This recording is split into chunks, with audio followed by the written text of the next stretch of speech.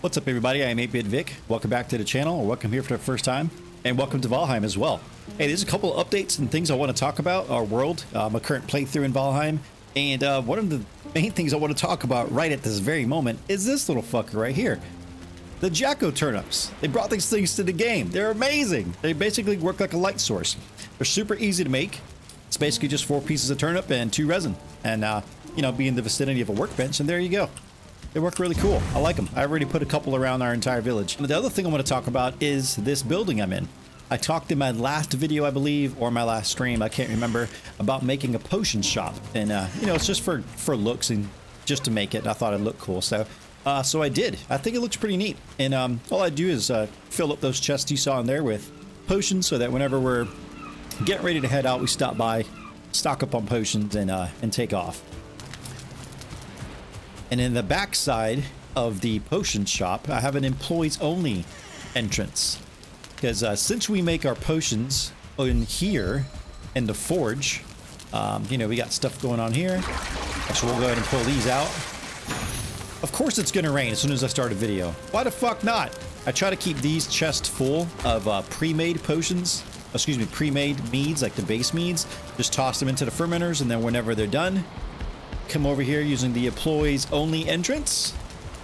And, uh, you know, when there's no customers looking, just hop up on the counter for now. Oh, or the Jack-o-turnip, I should say. And uh, fill these chests up. What else did I want to talk about? I was playing off camera, exploring around in the mountains, just trying to see what I can find. Uh, hunting for wolves and trying to see if I can find some of those infamous onion seeds, and I actually came across a silver vein. So um, we started mining some silver a little bit before we were supposed to, so I now have a silver shield, and I made a um, the Draugr Fangbow. That's what it was. I was going to do the sword, but the sword is fucking 40 pieces of silver. I did not get that much silver. Yesterday, Diablo and I destroyed, finally, the Bonemass. Trying to get some health. Trying to oh, keep them goddamn blobs! Man, they're hitting me hard. I need to back off. Yeah, back off, dude. Did you did you uh, claim Oh your no, bed? my poison. I'm gonna die. Did you claim your bed over here? Nope, I didn't. I'm gonna die. Yep, I'm dead.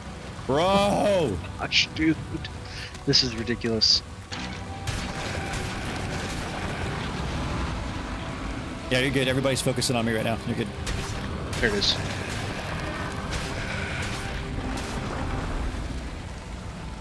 Get it? Do what you gotta do.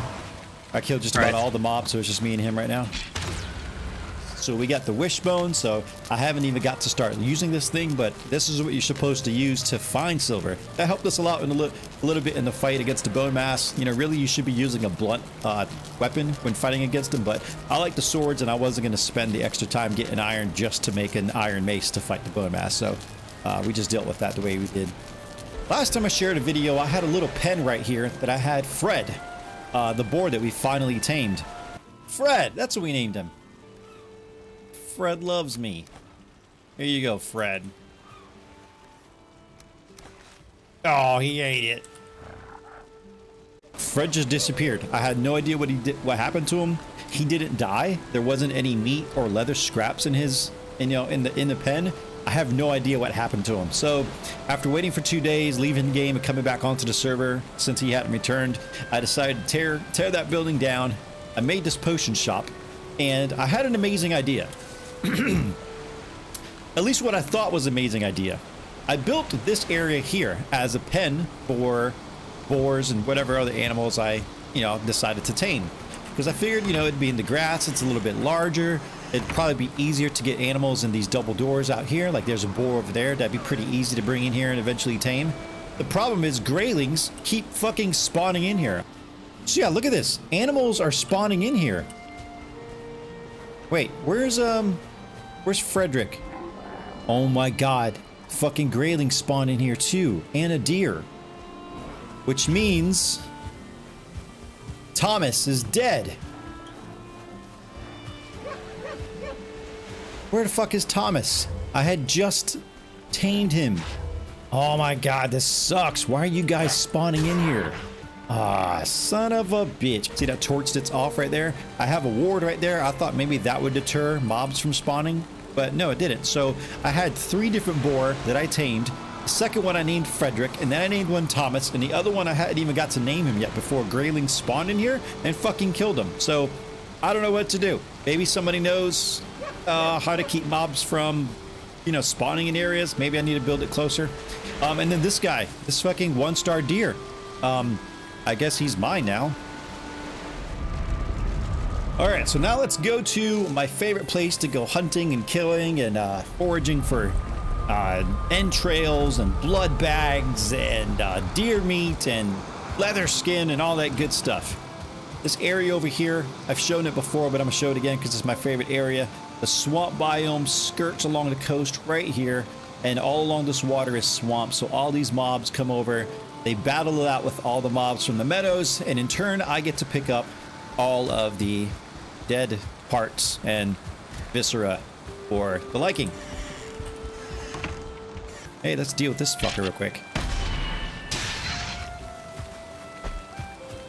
There's almost always some uh, some Draugr archers out here, so I want to draw their attention, get them to shoot at me, and uh, see if the stagger effect is back. I believe it is. It, they said it is, so it is, but I miss it. I know it makes no sense. They know it makes no sense, but people wanted it back in the game, so they brought it back in the game.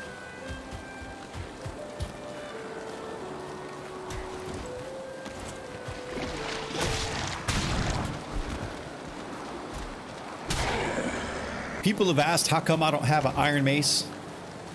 I don't have a very good reason. The only reason I don't have it is because I don't want it. I like the sword. So I choose the sword. I prefer the slash damage. I know it would have been easier to fight the Bonemass and there's some enemies that are very weak against blunt damage, but I like the sword. I'm sticking with the sword. Eventually when I get 40 pieces of silver, I'm going to make the silver sword. And that's just the way it's going to be. Come on, give me an archer. Somebody. Anybody. But why don't we activate this thing, actually? I haven't even used this before. You can sense hidden objects. Cool. So we'll leave that thing on and see if we can do anything with that. You don't have a bow either, do you? God damn it. Any other time, I'd be taking arrows up the ass constantly from all sorts of people. But now that I want to test some shit out,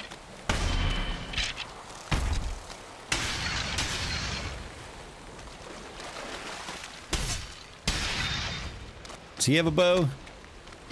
Of course not.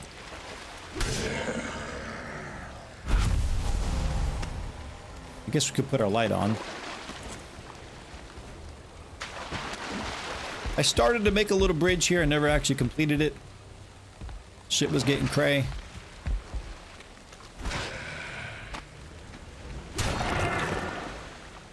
I'll take that. Thank you very much. Any of you archers? No? Yes. We have an archer. Yes, it's back. Die. Oh, fuck. I missed.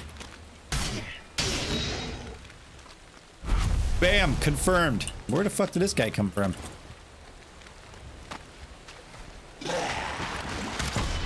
See? It's back. Yes. All right, guys, that's all I really got for this one. I was just really excited about the Jack-o-turnips. Wanted to show a couple things as far as progression, uh, you know, in this current world that I'm playing. And I show a couple changes and things that are going on in the village that I'm slowly working on. And also to ask for help. If you know of a way to keep the Greylings and uh, mobs from spawning inside of my boar containment area, somebody let me know. Uh, my assumption is I probably got to make it closer to uh, an established bed or something like that uh, kind of like like it's like Seven Days to Die works, where you have the, you know, no spawning around your your home area. But anyways, thanks for watching. Go out there, download, uh, you know, get the patch, play the game, make some Jack-o-turnips, have fun. Cheers, guys. See you in the next video.